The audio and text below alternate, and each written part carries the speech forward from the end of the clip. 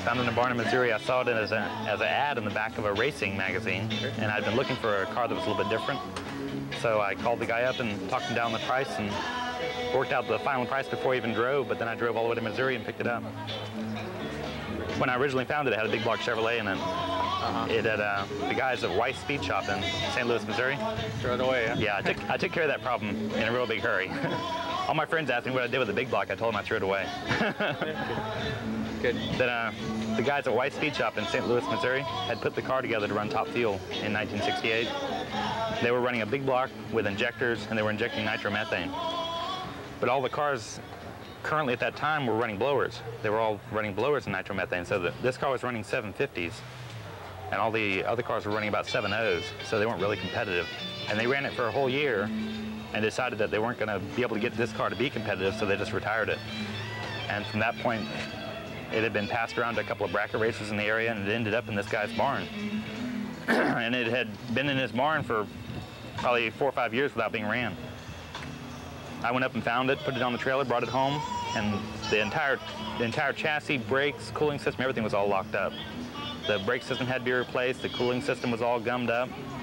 I had to yank the motor, I, I tore it down to the bare frame and had the frame powder coated, and then started putting it back together from there. I had to cut the frame off. The frame had a couple of hoops that is something you wouldn't drive down the street, it was so unsafe. It only had a couple of small hoops in it to protect you. I cut the frame off and had um, a guy in local here add a funny car cage to it, and I cut the suspension off and added a four-link suspension because it's for a little bit better hook. So I did that and did a lot of the brand new brakes, brand new, oh, rewired, rewired the entire car, did some work to the body. This this paint that you see here is um, the original paint on the car. This paint's 25 years old. Wow. They, what they did is they embedded the color directly in the gel coat. The, the purple color you see, that's actually embedded right in the gel coat. That's why it lasted. That's why it's had such longevity. Okay, looking color. Yeah, a 68 look here. Yeah, it's definitely a 60s look to the yeah, car. That's great. But then it's, oh, go on. Best, best time is um, 990, 137. Usually it runs anywhere between 995 and 991. It's pretty consistent. If, uh, if I run a, a pass and I, my 60-foot changes by more than 100, I'm breaking something. I got to go find a problem. The car's real consistent. Does this thing ever scare you? Oh, yeah. yeah, it always scares me when I haven't driven it in a while. You get in it, it's a real... When I first bought it, I, I did all this work on it, got the car really ready to run, rewired it, re-braked it, cooling system, redid the motor, put it all back together and took it out of the track. I hated it on the first pass. It was so different from something I'd ever driven because when you sit in the car and you got the body down around you, you can't look out anywhere. You're in the middle. You can't look over your door. You can't look out the window. You can't look out either window. You can't even reach them.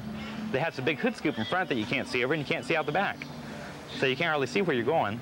The first pass down the track, I had a, a problem with the slicks in the car first it darted toward the guardrail and I kind of backpedaled it and pulled it back to the middle and then down track it, it went left and, and totally went over the center line and I had to backpedal it again. So it really had me scared on the first pass. I wasn't comfortable in there. I couldn't see where I was going. Car was running 100 plus miles an hour, get going all over the track. But um, I got all the suspension bugs worked out.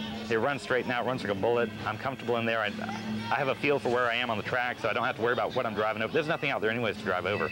The, the track's all open. So it's not a problem to drive anymore. I'm real comfortable with the car.